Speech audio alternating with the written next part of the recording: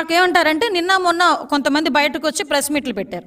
వాళ్ళు ఏమంటారంటే beverage corporation of ఆంధ్రప్రదేశ్లో వంద కంపెనీలు ఏమీ రిజిస్టర్ అవ్వలేదు.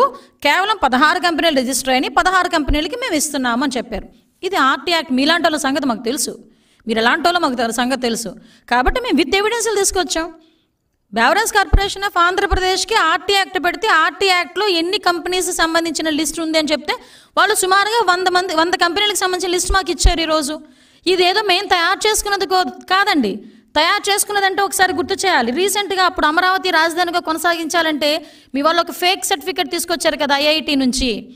అదే అమరావతి ముంపు ప్రాంతం చిన్న వర్షానికి మునిగిపోతుంది కాబట్టి రాజధానిగా కొనసాగించలేమని అప్పుడు మీరు తీసుకొచ్చిన ఫేక్ సర్టిఫికెట్ లాంటివి కాదండి. ఇది ఆర్టీ యాక్ట్ ఆంధ్రప్రదేశ్ గవర్నమెంట్ అంటే మీ గవర్నమెంట్ మాకు ఇచ్చిన రిపోర్ట్.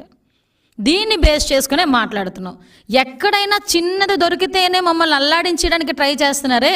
అటువంటిది ఒక అథెంటికేషన్తో మేము ఒక బ్యావరేజ్ కార్పొరే బ్యావరేజ్ సంబంధించి డిస్టిలరీకి సంబంధించి బ్రాండ్లకు సంబంధించి ఇందులో విషయం ఉందని మాట్లాడుతున్నామంటే మా దగ్గర అంత అథెంటికేషన్ లేకుండా మాట్లాడతామా మేము? ఎస్ ఇది ఆర్టీ యాక్ట్ ప్రకారం మేము తెచ్చుకున్నది. దీనికి సమాధానం ఏం చెప్తారు ఇప్పుడున్న పెద్దలు వైసీపీ పెద్దలు? ఈ విషయం గురించి అంత ఎలా ఎందుకు సమాధానం చెప్పట్లేదు? మేము ఎస్ ఇది విషయం. ఈ విషయాన్ని ఇది విషయం అని చెప్పి చెప్పడానికి మేము ఇంతమంది మాట్లాడుతున్నాం కదా ప్రజల పక్షాన్ని ఉండి. సో దీనికి ఎందుకు ల్యాబ్కి పంపించి మళ్ళీ మేము దీని మీద రిపోర్ట్స్ తీర్పించుకుంటామని కానీ లేకపోతే దీని మీద మళ్ళీ మేము ఎంక్వైరీ చేస్తామని కానీ ఒక మాట ఎందుకు మాట్లాడలే? ఏ సంబంధం లేని సజ్జల రామకృష్ణారెడ్డి గారు దీని గురించి బయటకు వస్తారు. అఫ్ కోర్స్ నేను చెప్పాను సజ్జల రామకృష్ణారెడ్డి గారు పరిస్థితి ఏంటో ఆ గవర్నమెంట్లోని ఇప్పుడున్న గవర్నమెంట్లో ఆయన పోస్ట్ ఏంటో కూడా మీకు చెప్పా. చాలాసార్లు చెప్పా. సో ఈసారి మళ్ళీ దాన్ని మెన్షన్ చేయక్కర్లేదని నేను అనుకుంటున్నాను ఆయన బయటకు వచ్చారు అత్తగారు బయటకు వచ్చి దీంట్లో విషం ఉందా లేదా చెప్పయ్యా? అంటే దాని గురించి మాట్లాడు. ఈ అదాన్ కంపెనీ గురించి చెప్పయ్యా ఎస్పీవై గురించి చెప్పు ఎస్ఎన్జే గురించి చెప్పు ఈ ఎంఎస్ బయోటెక్ గురించి చెప్పు జేఆర్ రిసోర్సెస్ గురించి చెప్పు ఇంకా చాలా ఉన్నాయి పదహారు కంపెనీలు ఉన్నాయి. వీటి గురించి సమాధానం చెప్పంటే దాని గురించి మాట్లాడు.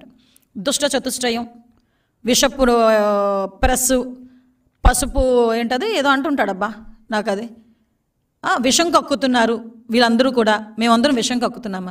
నువ్వు విషాన్ని పోస్తున్నావు. ఈరోజు విషం పోస్తున్నావు నువ్వు ప్రజలకి.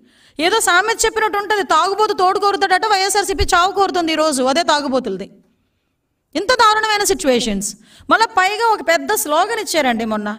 మాట్లాడుతూ మాట్లాడుతూ చంద్రబాబు నాయుడు అధికారంలోకి రావటానికి ఇలా బరిదగించి మాట్లాడారు. నిజంగా మాట వింటే రాజకీయాలు ఇంత నీచమైపోయినాయా అనిపిస్తుంటుంది.